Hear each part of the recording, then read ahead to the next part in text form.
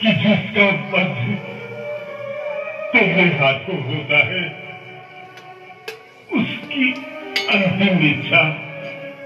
तो अवश्य हम सभी लोक कलाकार, धरोहर संगम कला के कलाकार हैं और आज शरदीय नवरात्रों की अष्टमी में हम सभी लोग कलाकार यहाँ पे माता के देवी गीतों के साथ, लोक नृत्यों के साथ महिषासुर मर्दनी का मंचन करेंगे। हमारे राज्य के यशस्वी मुख्यमंत्री श्री योगी आदित्यनाथ जी ने मिशन शक्ति तहत, कार्यक्रम के तहत हम लोग यहाँ पे एकत्रित हुए हैं और ये सारा कार्यक्रम सांस्कृतिक विभाग के अंतर्गत हो रहा है, जिसमें तेरह प्रदेशों में अलग अलग कलाकार माँ शक्ति के अलग अलग स्वरूपों का वर्णन करेंगे और ये कार्यक्रम 180 दिनों तक चलेंगे,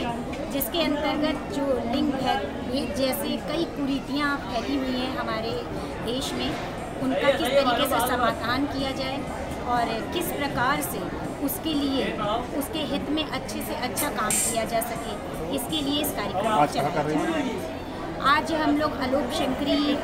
शक्तिपीठ में अपना कार्यक्रम करेंगे। जी, ये हम आज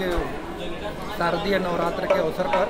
हमारे उत्तर प्रदेश के यशस्वी मुख्यमंत्री माननीय श्री योगी आदित्यनाथ जी के द्वारा मिशन शक्ति का कार्यक्रम चलाया जा रहा है। और यह मिशन शक्ति का कार्यक्रम नारी सुरक्षा, नारी स्वावलंबन, नारी शक्ति जागरण